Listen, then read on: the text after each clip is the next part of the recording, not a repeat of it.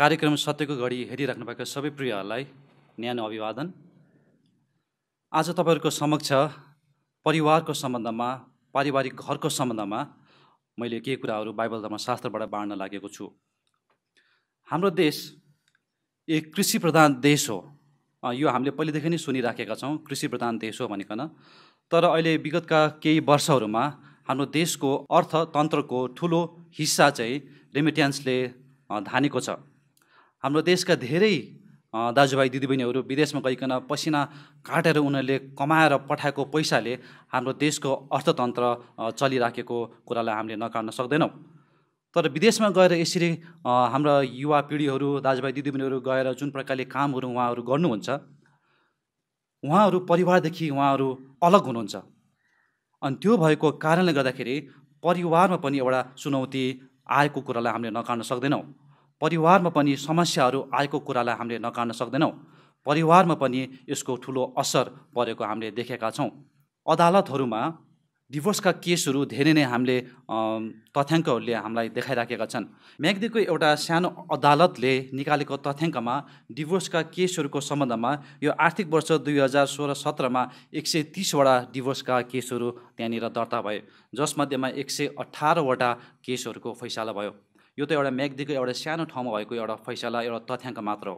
काठमाडौँमा भएको वर्ष डिभोर्सका केसहरू नौ सयको हाराहारीमा डिभोर्सका केसहरू दर्ता भए। धेरै गुना अ, ले डिभोर्सका केसहरू दर्ता भइराखेको अवस्था छ। यही तथ्याङ्कहरूले नै हामीलाई यो कुरो बुझाउँछ कि हाम्रो परिवारको अवस्था कस्तो छ? हाम्रो परिवारले कस्तो खालको चुनौतीहरू झेल्नु परेको छ? यो तथ्याङ्कले नै हामीलाई स्पष्ट रूपमा देखाउँछ। परिवारको मूल्य मान्यतामा गिरावट आइराखेको छ। धेरै कारणहरू छन् परिवार यो प्रकारले भाडिनुमा। मुख्य रूपमा तथ्याङ्कले देखाएअनुसार सामाजिक सञ्जाललाई नै मुख्य कारण मानिएको छ। जस्तै फेसबुक भयो अरू विभिन्न सामाजिक सञ्जालहरू जो हामीले चलाउने गर्छौँ अहिलेको यो टेक्नोलोजी जो छ त्यो पनि एउटा परिवार भाँड्ने एउटा मुख्य कारण बन्न गएको छ। यो सोसियल मिडियालाई दुरुपयोग गरिकन यी कामहरू भइराखेको हामीले देखेका छौँ।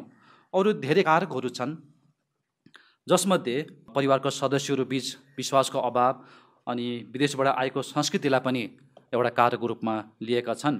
यसरी एउटा स्वस्थ परिवार आजको यो युगमा कसरी रहने एउटा आदर्श परिवार कसरी बन्न सक्छ भन्ने सम्बन्धमा हामी बाइबल धर्मशास्त्रबाट हामी हेर्नेछौँ। यसको लागि हामी भजन सङ्ग्रह एक सय सत्ताइसबाट हामी यो हेर्नेछौँ। भजन सङ्ग्रह एक सय सत्ताइसको एकदेखि पाँच पद छन्। म तपाईँहरूको माझमा यो पदहरू पढिदिन्छु। परमप्रभुले नै घर नबनाउनु भए ता बनाउनेहरूले गरेको परिश्रम व्यर्थ छ। परमप्रभुले सहरको रक्षा नगर्नु भए ता पाले व्यर्थमा जागो रहन्छ। बिहान सबेरै उठ्नु राति अबेर विश्राम गर्न जानु र परिश्रमको रोटी खान तिमीहरूलाई व्यर्थ छ किनकि उहाँले नै आफ्ना प्रियहरूलाई निन्द्रा दिनुहुन्छ। हेर छोराहरू त परमप्रभुले दिनुभएका हक हुन्। गर्वको फल चाहिँ उहाँको इनाम हो। वीर योद्धाको हातमा भएका काँड झैँ युवावस्थाका छोराहरू हुन्छन्। त्यो मानिस धन्यको हो जसको ठोक्रो तिनले भरिएका हुन्छन्। मूल ढोकामा आफ्ना शत्रुहरूसित बोल्दा तिनीहरू लाजमा पर्ने छैनन्। यो खण्डबाट आज हामी हेर्नेछौँ। अनि यो भजन लेखकको नाउँ सोलोमन हो। सोलोमन एक राजा थिए। उनको पिताको नाउँ दाउद थिए। इसरायलको इतिहासमा दाउद एक एकदमै महान राजा कहलाइएको हो। अनि दाउदले आफ्नो राज्य सत्ताको सबै जिम्मेवारी आफ्नो छोरा सोलोमनलाई सुम्पिदिए। सोलोमनले आफ्नो राज्य सुरु गर्नुभन्दा अगाडि परमेश्वरसँग उनले आफ्नो राज्य शासन गर्नका लागि ज्ञान बुद्धि उनले मागे। अनि परमेश्वरले सोलोमनले बुद्धि मागेको देखेर बुद्धि मात्र होइन तर सम्पत्ति पनि सोलोमनलाई दिए। सोलोमनले आफ्नो राज्यकालमा उनले धेरै कामहरू गरे। ती कामहरू मध्येमा एकदमै ठुलो मानिने काम चाहिँ उनले परमेश्वरको मन्दिर उनले बनाउने काम गरे। जुन मन्दिर बनाउनका लागि दाउद राजा सोलोमनको पिता आफैले नै धेरै सम्पत्तिहरू त्यहाँनिर त्यो मन्दिर बनाउनलाई छोडेर गएका थिए। तर सोलोमोन अ, धेरै सम्पत्ति हासिल गरेको कारणले गर्दाखेरि उनका धेरै श्रीमतीहरू पनि भए धेरै उनका पत्नी उपपत्नीहरू पनि भए अनि यी कुरा नै सोलोमनको पतनको कारण पनि बन्न गयो। तर आफ्नो जीवनको अन्तिम समयहरूमा सोलोमनले परमेश्वरसँग क्षमा मागे र उनले परमेश्वरसँगको आफ्नो सम्बन्धलाई फेरि पुनर्स्थापित गरेको कुरा पनि हामी बाइबल धर्मशास्त्रमा पाउँछौँ। यो भजन लेख्ने लेखकको एउटा सानो एउटा पृष्ठभूमि हो। भजन एक सय सत्ताइसको एकमा यसरी भनेको छ परमप्रभुले नै घर नबनाउनु भए ता बनाउनेहरूले गरेको परिश्रम व्यर्थ छ। परिश्रमहरू धेरैपल्ट व्यर्थ भएर जान्छन्। नेपालमा तिन वर्ष अगाडि एउटा ठुलो भूकम्प गयो जसले धेरै मानिसहरूको ज्यान लिए अनि भूकम्पले धेरै घरहरू पनि भत्काए। सरकारले सुरुको किस्ताको रूपमा पचास हजार दिने निर्णय गरियो अनि त्यो पचास हजारले चाहिँ आफ्नो घर बनाउनलाई सुरुको काम गर्नुपर्ने हुन्थ्यो। अनि यो किस्ता पाएका धेरै मानिसहरूले आफ्नो घरहरू बनाउने काम पनि गरे अनि साथसाथै धेरै मानिसहरूले अहिलेसम्म पनि आफ्नो घरहरू बनाएका छैनन्। जबसम्म घर धनी आफैले घर मुली आफैले नै आफ्नो घर बनाउनलाई परिश्रम गर्दैन आफ्नो घर बनाउनलाई जागरुकता देखाउँदैन तबसम्म त्यो व्यक्तिको घर कहिले पनि बन्दैन। यसकारण एउटा घर बनाउनको लागि घर मुलीको एउटा ठुलो भूमिका हुन्छ। घर मुली आफै तात्यो भने उसको घर बनाउनलाई समय लाग्दैन। घर मुलीले काम नगरेको खण्डमा अरू सबै परिश्रमहरू व्यर्थ हुन जान्छ। यसकारण घर कसले बनाउँछ? घर मुलीले बनाउँछ। परिवार कसले बनाउँछ? परिवार परमेश्वरले बनाउनुहुन्छ। अदनको बगैँचामा हामीले हेऱ्यौँ भने उत्पत्ति एकको सत्ताइस र उत्पत्ति दुईको अठारदेखि चौबिसमा हामीले हेऱ्यौँ भने त्यहाँ लेखिएको छ कि कसरी परमेश्वरले नर र नारी गरिकन बनाउनु भयो एउटा परिवार बनाउनु भयो परिवारमा नर र नारी हुन्छ अनि यो परमेश्वरले बनाउनु भएको परिवार हो। अनि परमेश्वरले त्यो परिवारलाई आशिष दिनुभयो र साथसाथै त्यो परिवारलाई एउटा जिम्मेवारी पनि दिएर परमेश्वरले पठाउनु भयो अहिलेको यो युगको विडम्बना के भयो भन्दाखेरि घर बनाउने तरिकाहरू मानिसले आफ्नो इच्छा आफ्नो स्वार्थ अनुकूल उनीहरूले बनाउन थाले। सबलाई हामीले हेऱ्यौँ भने उत्पत्ति छब्बिसको पैँतिस र उत्पत्ति सत्ताइसको तेत्तिसदेखि चालिसमा एसाबले आफ्नो पिताको इच्छा विपरीत उनले श्रीमतीले भने काम गरे। जसको कारणले बाइबलले भन्दछ रेबिका र इसाको बिचमा उनको सम्बन्धमा तितोपन आयो अमिलोपन आयो। उनको बिचको सम्बन्ध तितो भयो। त्यति मात्र होइन कि एसाप उसको आफ्नै जीवनमा पनि उसले धेरै नोक्सानी बेहोर्नु पर्यो। उसले आफ्नो ज्येष्ठ अधिकार गुमाउनु पर्यो। आफ्नो पिताले दिने आशिष पनि उसले गुमाउनु पर्यो। बाइबलमा लेखिएको छ कि एसाबले रोइ कराइकन पितासँग आशिष माग्दाखेरि इसाकले भन्दछ मसँग अरू कुनै पनि आशिष छैन। उनले आफ्नो आशिष पनि गुमाउनु पर्यो। बाइबलको अर्को व्यक्ति सिमसोन पनि हामीलाई पनि हामी हेर्न सक्छौँ। उनी एक न्यायकर्ता थिए। उनी जन्मैदेखि नै सिमसोन एक नाजिरी थियो। परमेश्वरको कामको लागि अलग गरिएको व्यक्ति एक नाजिरी थियो।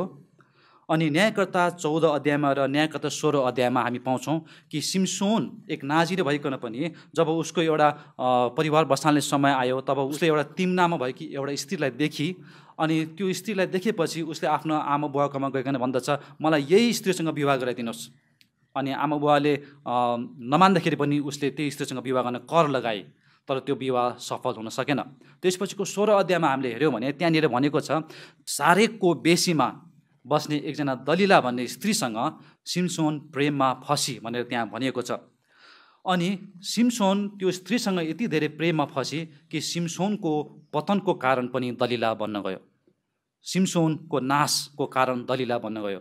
सिमसोन एउटा तमासा भए उसका शत्रुहरूको बिचमा सिमसोन तमासा भए। परमेश्वरको इच्छा विपरीत जब कुनै घर बसालिन्छ त्यो घरले नोक्सानी बेहोर्छ। तर यति भन्दैमा हाम्रा अरू अरू सबै घरहरू चाहिँ सिद्ध छन् भन्ने होइन। हाम्रा धेरै घरहरू आजको युगमा अघि नै मैले तपाईँलाई भने चाहिँ धेरै घरहरू बिग्रेका अवस्थामा छन्। धेरै परिवारहरू भत्केका अवस्थामा छन्। धेरै परिवारहरूको सदस्यहरूको बिचमा मेलमिलाप छैन। बेमेल छ उनीहरूको बिचमा। डिभोर्सका कुराहरू धेरै हामी पाउँछौँ। परिवारका सदस्यहरूको बिचमा भएको झैँझगडाका कुराहरू हामी धेरै पाउँछौँ। अनि यस्ता खालका कुराहरूले गर्दाखेरि परिवार एउटा सिद्ध परिवार एउटा स्वास्थ्य परिवार हुन सकिराखेको छैन। अनि परिवार बिग्रेको अवस्थामा एउटा भत्केको अवस्थामा रहेको कारणले गर्दाखेरि त्यो परिवार बनिनुपर्छ। त्यो परिवार फेरि त्यो परिवारको पुनर्निर्माण हुने काम हुनुपर्दछ। जसरी घर जब भत्किन्छ त्यसलाई फेरि पुनर्निर्माण गर्ने काम हुन्छ। त्यसै गरी यी बिग्रेका घरहरू यी बिग्रेका परिवारहरू जति पनि छन् त्यो बिग्रेको परिवार भत्केको परिवारको पुनर्निर्माण हुनुपर्छ। अनि जसले घर बसाल्नुभयो उहाँले मात्र त्यो घरलाई पुनर्निर्माण गर्न सक्नुहुन्छ। जसले परिवार बनाउनु भयो त्यो परिवारलाई फेरि पुनर्स्थापित गर्न परमेश्वरले मात्र गर्न सक्नुहुन्छ। यसकारण हाम्रो परिवारहरू आजका हाम्रो यो परिवारहरू जो भत्केका परिवारहरू छन् जो एकदमै नाजुक अवस्थामा छन् जो चाहिँ फुटेको टुटेको अवस्थामा छन् यी परिवारहरूलाई यदि हामीले परमेश्वरकामा हामीले समर्पण गऱ्यौँ भने यदि हामीले परमेश्वरलाई हामीले यी परिवारहरू अर्पण गऱ्यौँ भने परमेश्वर स्वयंले यी परिवारहरूलाई बनाउनुहुन्छ। आफ्नो घरलाई हामी परमेश्वरमा अर्पण गरौँ। दोस्रो बुदा छ परमेश्वरले परिवारको लागि जुटाउनुहुन्छ भनी भरोसा राख्नु। भजन सङ्ग्रह एक सय सत्ताइसको एकको दोस्रो खण्ड दुई पदमा यसरी भनेको छ परमप्रभुले सहरको रक्षा नगर्नु भए ता पालीहरूले गरेको रखवाली व्यर्थ हुन्छ। भोजनको निम्ति परिश्रम गर्नलाई बिहान सबैले उठ्न राति अबेर सुत्न जानु व्यर्थ छ किनकि उहाँले आफ्ना प्रियहरूलाई निन्द्रा दिनुहुन्छ। धेरै कुराहरू व्यर्थ जान्छन्। धेरै कामहरू हाम्रो व्यर्थ हुन्छन्। हाम्रो देश एउटा भूपरिवेष्टिक देश हो। अनि हामी सबैजनाले यो कुरो हामीले अनुभव गरेका छौँ। हामी धेरैजनाले नाकाबन्दी हामीले झेलेका छौँ। हामी धेरैजना पेट्रोलको धेरै लाइनहरूमा घन्टौँसम्म हामी लाइनमा बसेको अनुभव हामीलाई छ। अनि पेट्रोल भर्दाखेरि अनि त्यो पेट्रोल भर्ने मोटरसाइकल त्यो पम्पको नजिक आइपुग्दाखेरि पेट्रोल सक्यो भनेर भन्दाखेरि हाम्रो पारो तातेर आउँछ। घन्टौँ लाइनमा बस्यो अनि आफ्नो पालो आउँदाखेरि पेट्रोल छैन भनेर भन्दाखेरि हामीलाई रिस उठ्छ। यो अनुभव हामीले गरेका छौँ। यदि त्यो पेट्रोल पम्पका कर्मचारीहरूले पहिले नै सूचना जारी गरिदिएको भए हामी तपाईँलाई यति जनालाई मात्रै पेट्रोल हामी दिन्छौँ भनेर जारी गरिदिएको भए त्यहाँनिर समय बर्बाद गरेर घन्टौँसम्म लाइनमा बस्नुपर्ने त्यहाँनिर जरुरी केही पनि हुँदैन थियो। तर त्यस्तो सूचना केही पनि नभएको कारणले गर्दाखेरि चाहिँ त्यहाँ बसेको सबै समय चाहिँ खेर गयो। धेरैपल्ट हाम्रो समयहरू त्यसै खेर जान्छन् अनि परमप्रभु परमेश्वरले नै सहरको रक्षा गर्नुहुन्छ। परमप्रभु परमेश्वरले नै भोजन दिने काम गर्नुहुन्छ। परमप्रभु परमेश्वरले नै विश्राम निन्द्रा दिने काम परमप्रभु परमेश्वरले नै गर्नुहुन्छ। यो दुई पदमा उल्लेख गरेका सबै कुराहरू एउटा परिवारलाई चाहिने आधारभूत कुराहरू हुन्। सुरक्षा भोजन निन्द्रा वा विश्राम यी परिवारलाई चाहिने सबैभन्दा आधारभूत कुराहरू नै हुन्। अनि यी कुराहरूको लागि नै परिवारको सदस्यहरू कुद्छन् लागि पर्छन् सम्पत्ति कमाउनको लागि दौडधुप गर्छन् अनि भोजन मिठो खानको लागि दौडधुप गर्छन् आफ्नो सुरक्षाको लागि उनीहरू यो कोसिस त्यो कोसिस विभिन्न कोसिसहरू उनीहरूले गरिराखेका हुन्छन्। भोजन छ कहिले कहिले तर त्यो भोजन सुरक्षित छैन। अहिले हामी धेरै विषादीयुक्त खानेकुराहरू हामीले खाइराखेका छौँ। अनि अहिले अर्ग्यानिक खानेकुरा भनेर पनि हामी सुन्ने गर्छौँ। किनकि भोजन प्रायः हामीले बजारमा पाउने तरकारी भोजनहरू सबै एकदमै विषादीयुक्त भएको कुराहरू हामीले सुनिराखेका छौँ। हामी धेरैपल्ट एकदमै परिश्रम गर्छौँ। मेरो भविष्य एकदमै सुखमा मेरो भविष्य बित्नुपर्छ। मेरो बुढेसकाल एकदमै एउटा रिटायर्ड लाइफ मेरो एकदमै आरामसँग मैले बिताउनुपर्छ भनेर हामी कुदाकुद गरिराखेका हुन्छौँ। तर भोलि गइकन आफूले कमाएको सबै सम्पत्ति हामीलाई लागेको रोग बिमार उपचार गर्दै सबै सकेर जान्छ। हामीले गरेका सबै कुराहरू व्यर्थ। व्यर्थ व्यर्थ भएर गइराखेका छन्। किन? किन भन्दाखेरि हामीलाई चाहिने सुरक्षा हामीलाई चाहिने भोजन हामीलाई चाहिने विश्राममा हामीले परमेश्वरमा भरोसा गरेनौँ। यसकारण परमेश्वरमा हामीले यी सबै कुरामा यी सबै कुराको लागि जब हामी भरोसा राख्छौँ हामीलाई चाहिने सुरक्षाको लागि हामीलाई चाहिने भोजनको लागि हामीलाई चाहिने निन्द्राको लागि जब हामी परमेश्वरमा हामी भरोसा राख्छौँ हामीले गरेको सबै कामहरू व्यर्थ जाँदैनन् खेर जाँदैनन्। यसोले भन्नुभयो आफ्नो चेलाहरूलाई औ हामीसँग जाउँ पारिपट्टि हामी जाउँ भनेर भन्नुभयो। अनि त्यसपछि सबैजना चेलाहरू पनि अनि यसो पनि ढुङ्गामा चढे चढे अनि समुद्रको त्यो यात्रा उहाँहरू गर्न थाले। अनि वचनमा भनेको छ यसु ढुङ्गामा चढ्नुभयो अनि यसु निधाउनु भयो त्यहाँ यसु खालि ढल्किनु भयो मात्र होइन कि यसु ढल्केर अनि यताउता हेरेको मात्र होइन यसु निधाउनु भयो भनेर वचनले भन्दछ। अनि यसु निधाउनु भयो त्यो डुङ्गामा तर त्यो डुङ्गा जब त्यो समुद्रमाथि गइराखेको थियो त्यो डुङ्गामा आधी बेरी हुरी बतास आधी तुफान त्यो डुङ्गामा आउन थाल्यो। छालोले त्यो डुङ्गालाई हान्न थाले त्यो डुङ्गालाई माथि तलतिर पछाड्न थाले अनि एकदमै असुरक्षित महसुस गरे चेलाहरूले।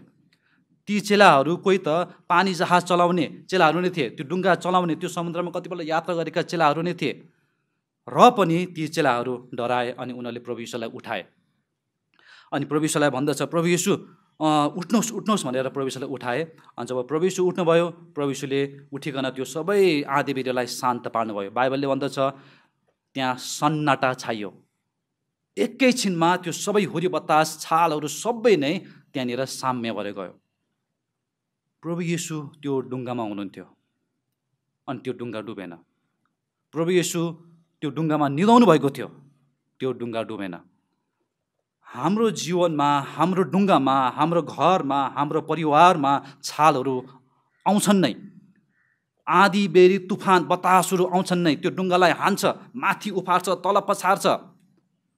तर यदि त्यो डुङ्गामा यसु हुनुहुन्छ भने त्यो डुङ्गा कहिले पनि डुब्दैन।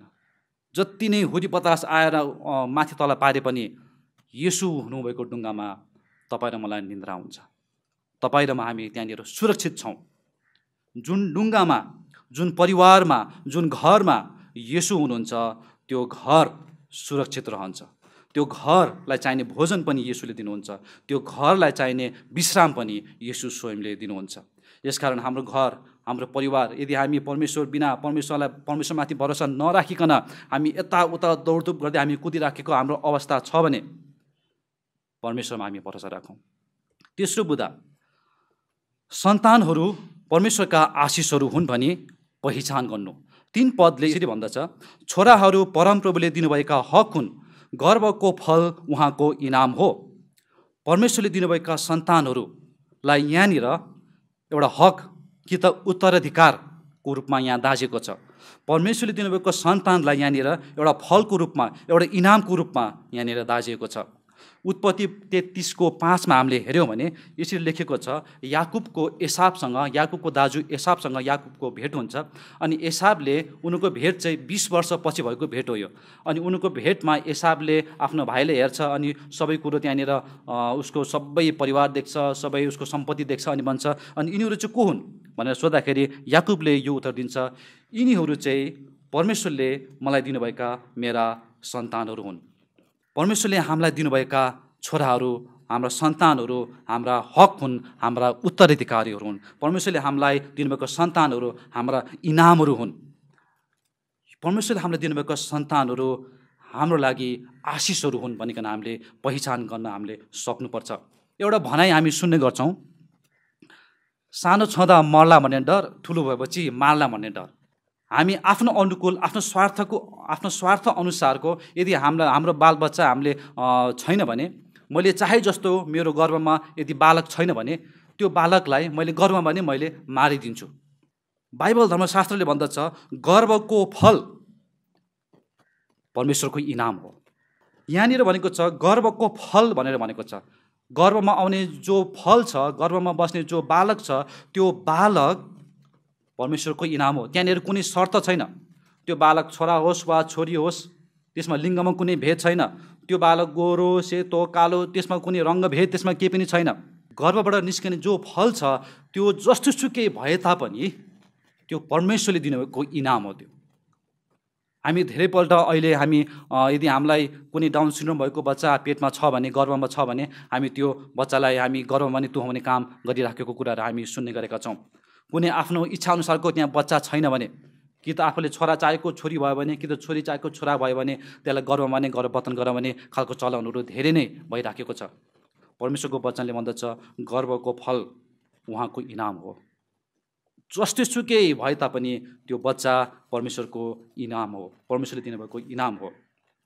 एउटा उदाहरण एउटा सानो मण्डली थियो त्यो मण्डलीमा एकजना पास्टर हुनुहुन्थ्यो। अनि त्यो पास्टरको परिवार त्यो मण्डलीमा सेवकाई गरिराखेको अवस्था थियो।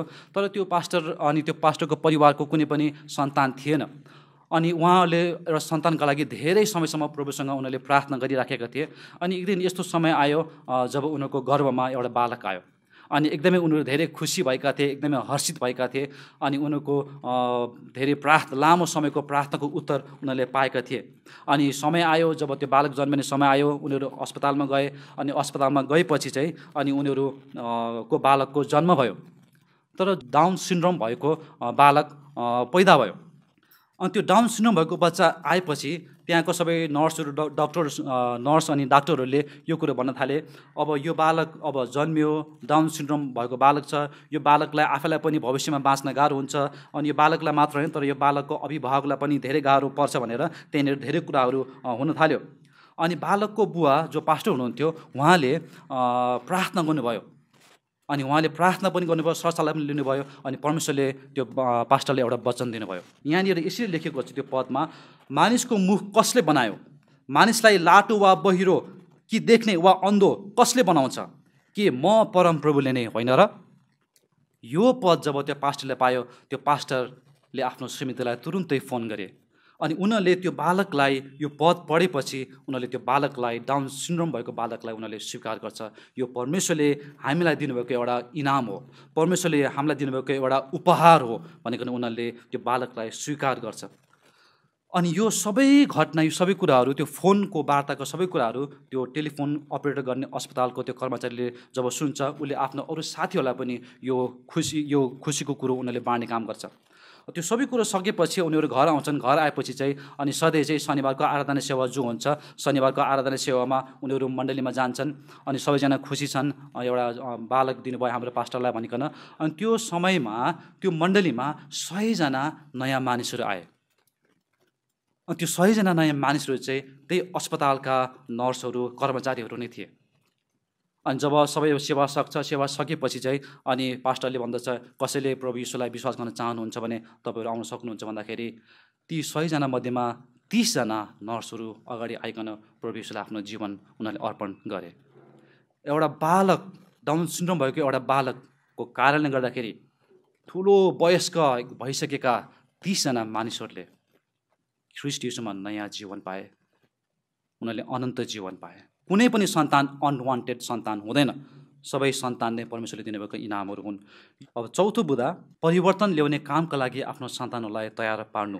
यो भजन सङ्ग्रह एक सय सत्ताइसको चार पदमा यो कुरो हामी पाउँछौँ। यहाँनिर अभिभावकहरूलाई कि त सन्तानका आमा बुवालाई एक वीर योद्धाको रूपमा दाँजिएको छ। यहाँनिर हामी पाउँछौँ कि पाँच पदकै सुरुमा भनेको छ त्यो मानिस यहाँनिर त्यो मानिस भनेर सम्बोधन गरेको छ कोही आमा कि त बुवा भनेर मात्र सम्बोधन गरेको छैन। त्यो मानिस भनेको छ किनकि धेरै अवस्थामा कुनै सन्तानको आमा नहोला कि त बुवा नहोला उनीहरूले हेरविचार गर्ने कोही पनि नहोला त्यो समयमा अरू कसैले त्यो सन्तानलाई हेरविचार गरिराखेको हुन्छ। यसकारण त्यो मानिस त्यो मानिस जसले चाहिँ त्यो सन्तानलाई हेरविचार गर्छ जो त्यो सन्तानलाई रखवाली गर्छ त्यो सन्तानलाई एउटा वीर योद्धासँग दाँजिएको छ। अनि ती सन्तानहरू जो छन् ती सन्तानहरूलाई एउटा काँडहरू झैँ भनेर दाजिएको छ। त्यसको लागि त्यो हुर्काउने व्यक्ति जो छ त्यो मानिस जो छ त्यो आमा कि त बुवा कि त अभिभावक जो छ उसलाई धेरै परिश्रम उसले गर्नुपर्छ उसले धेरै मेहनत पनि गर्नुपर्छ उसले धेरै आफूलाई अनुशासन पनि उसले राख्नुपर्ने हुन्छ। अनि जब यो काम एक अभिभावकले कि त आमा कि बुवाले गर्छ उसलाई एउटा वीर योद्धाको रूपमा दाँजिएको छ। योद्धाले जब कुनै एउटा काँड हान्छ त्यो काँड सधैँ नै आफू बसेको ठाउँभन्दा धेरै गुणा परसम्म त्यो काँड जान्छ। यसकारण त्यो सन्तान यस्तो खालको सन्तान त्यो वीर योद्धाले बनाउँछ जुन सन्तान चाहिँ आफूभन्दा धेरै परसम्म जान्छ। त्यो अभिभावक जहाँ पुग्न सक्दैन त्यो सन्तान त्यहाँनिर पुग्छ। त्यो अभिभावकले जे काम गर्न सकेन त्यो काँड त्यो सन्तान त्यो ठाउँमा गइकन त्यो सन्तानले गर्ने काम गर्दछ। वीर योद्धाले जब कुनै एउटा सन्तानलाई तयार पार्ने काम गर्छ त्यसले समाजमा छिमेकमा टोलमा गाउँमा राष्ट्रमा नै एउटा परिवर्तनको काम ल्याउने काम गर्दछ। अनि यो सन्तान तयार पार्ने कामका लागि परमेश्वरले अभिभावकहरूलाई एउटा वीर योद्धाको रूपमा दाँच्नु भएको छ। अनि वीर योद्धाको काममा तपाईँ र म हामी लगाउँ हाम्रो सन्तानहरूलाई हामीभन्दा अझ धेरै परसम्म पुग्ने खालको सन्तानहरू हामी तयार पारौँ। आजको यो उत्तर आधुनिक युगमा आजको यो पोस्ट मोडर्न एरामा परिवारको मूल्य धेरै नै खस्केर गएको छ। परिवारको परिभाषा नै घरको परिभाषा नै बदलेर गएको छ जसले परिवारमा दुर्घटना निम्त्याएको छ। छोराछोरीहरू आमा बुवाको लागि लासको शर्मको कारण बनेका छन् भने आमा बुवाहरू पनि छोराछोरीहरूको लागि एउटा बाधकको कारण बनेका छन्। श्रीमान श्रीमतीहरू बिच बेमेल भएको कुराहरू हामी पाउँछौँ। एकले अर्कालाई सहयोगीको भूमिका खेल्नुपर्नेमा एकले अर्काको प्रतिस्पर्धी भएर उनीहरू जिराखेका छन्। यो प्रकारको परिवारलाई निर्माण गर्ने काम परमेश्वरले मात्र गर्न सक्नुहुन्छ। यो परिवारलाई फेरि पुनर्निर्माण गर्ने काम यो घरलाई फेरि पुनः निर्माण गर्ने काम परमेश्वरले मात्र गर्न सक्नुहुन्छ। यसको लागि हामी हाम्रो घरमा हामी हाम्रो परिवारमा परमेश्वरलाई स्थान दिउँ हामी हाम्रो घरमा हाम्रो परिवारमा परमेश्वरलाई प्रभु भनिकन हामी मानिलियौँ। परमेश्वरले हामी सबैजनालाई आशिष दिउँ